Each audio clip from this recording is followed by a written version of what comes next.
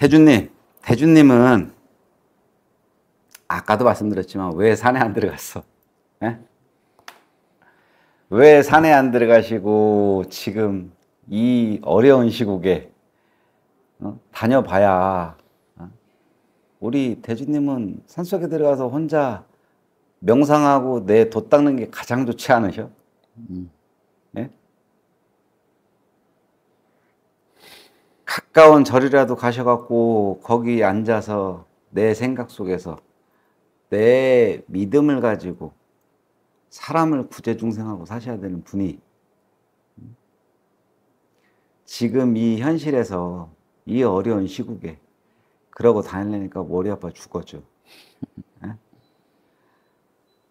머리는 누구보다도 똑똑하고 누구보다도 반짝반짝 빛이 나는 분이 내가 하고자 하는 일 참 주변에 사람들도 많았다 소리도 나오고 참 큰 꿈도 꿨다 소리가 나와. 근데 사람 다 잃고 나 주변에 지금에 와서 둘러보면 내 주변에 남는 게 아무것도 없어. 그게 우리 대주님이셔. 진작에나 내가 나이나 젊고 나이나 어렸을 때 제대로 된 선생을 만났다 하면 음? 좀 제대로 된 길을 가셨을 텐데. 이래지도 못하고 저래지도 못하고. 그때 당시에는 내가 최고인 줄 알고 살다 보니 시간은 시간대로 흐르고 지금에 와서 둘러보니 아까 말씀드린 것처럼 남는 건 없고 진작에나 들었을 거라는 후회도 생기고. 사람이요 대주님. 내가 힘들고 내가 어려워지면 제일 먼저 찾는 게 내 조상이야. 근데 내 주머니에 뭐 딸랑거리는 게 있고 내가 좀 마음이 편하면 또 맨 뒷전으로 밀어놓는 게내 조상이에요 맞습니다. 그게 인간이더라고. 우리 대주님이 지금까지 살아온 게 딱 극작이었어. 네. 그러다 보니 지금에 와서는 아, 좀 있을 때 잘할 걸. 내가 좀 일어났을 때 좀 내가 뭔가를 좀 해놓을 걸 하는 후회밖에 안 남는 인생이 우리 대주님 인생입니다. 지금.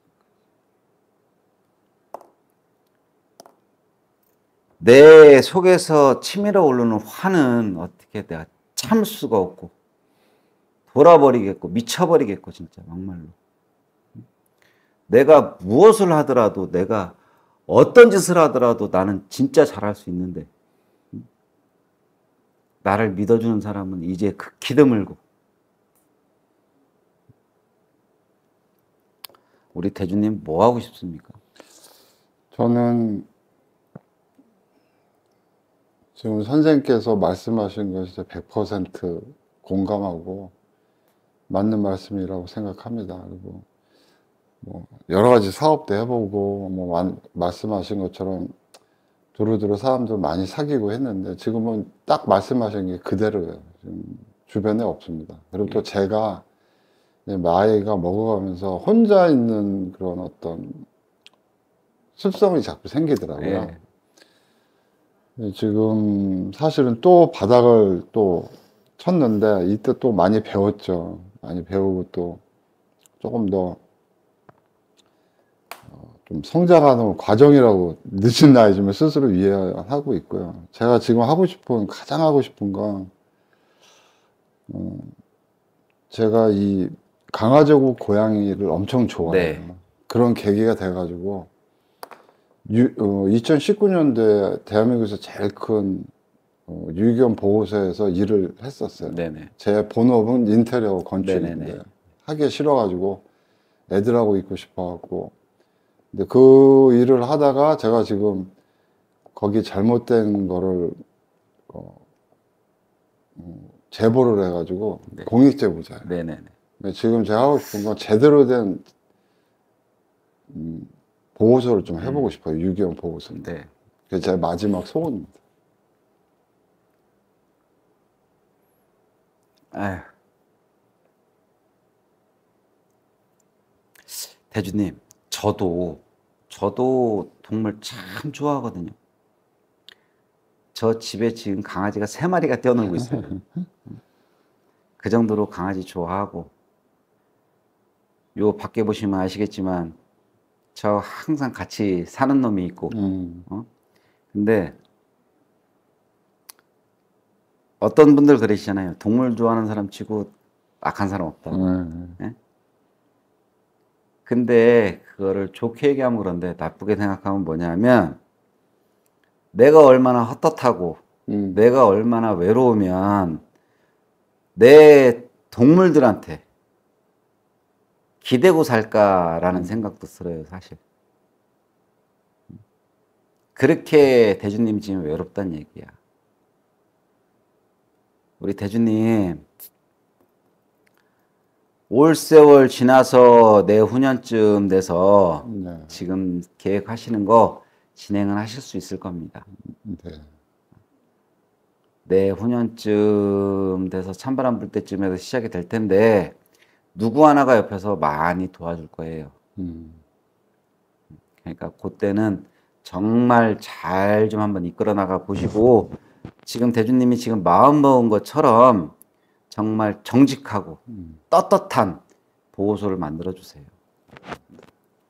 사실 저도 동물보호협회 분들하고 연락도 자주 하고 했었거든요. 네, 그분들하고 대화도 좀 나눠보고 싶고 해서 연락도 많이 했었는데 그분들이 뭔가 캥기는 게 있는지 자꾸 약속을 깨고 피하고 한 적도 있었어요, 사실. 음, 그러한 적도 있었고 한데 정말 정직하고 떳떳한 네, 그렇게 좀 한번 해보세요.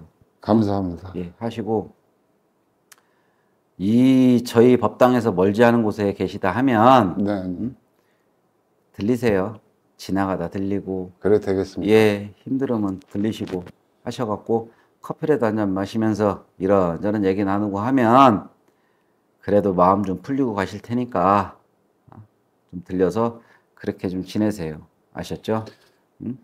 그 선생님 제가 아직 미혼이거든요. 네, 어떻게 좀 뭐 결혼까지는 아니지만 네. 좀 음, 만날 수 있는 친구를 아, 있죠. 예, 만날 수 있는 친구는 있어. 근데 우리 대주님이 아까 얘기했다시피 올라오는 화나 이런 거를 내가 참지를 못해. 있- 음, 그러다 보니 내 주변에 사람이 있으면 그 사람한테 화풀이 아니면 화풀이가 많이 되는 얘기야. 그러다 보니까 많이 떨어져 나가. 음, 그걸 좀 눌러 참으세요. 예, 요즘 많이 생각하고 있습니다. 예. 스스로에 대해서. 내가 자꾸 예전 생각에 그 회상에 빠져 있으면 음, 사람이 발전할 수가 없어요. 예, 맞는 말씀이세요. 예. 그러니까 이, 지금 이 순간부터 한 시간 전에 있었던 일까지도 다 없었던 일로 잃어버리시고 음, 다 잃어버릴 수는 없겠지만 다 잊어버리시고 옛날 일은 옛날 일이야. 음, 지금 제 현 상황이 중요하고 음. 앞으로가 중요하죠. 음. 그렇게 생각하고 사세요. 그래서 선생님 좀, 음, 제, 저의 어머님이 2013년도에 돌아가셨고요. 네. 저희 아버님이 2020년도에 돌아가셨는데, 어, 저의, 제 밑으로 여동생만 둘이인데, 걔도 결혼을 안 했어요. 네. 근데 그 막내 동생이랑 그 아버지가 살아생전에 갖고 계셨던 땅 때문에 약간의 갈등이 있어요. 네네. 근데 저는 그걸 뭐, 음, 오빠로서 뭐 네네네. 그 주장을 하는 게. 아니라 네네. 워낙 제가 지금 좀 네. 바닥이다 보니까 그리고 또 보호소를 할 수 있는 네. 약간의 돈이라도 좀 갖고 싶은 생각이 네네. 있거든요. 근데 그 부분에 대해서 동생하고 원만하게 해결이 될 수 있을지. 동생분이 지금 몇 살이세요? 아, 걔가 지금 닭띠입니다. 저보다 네살 음. 어리니까.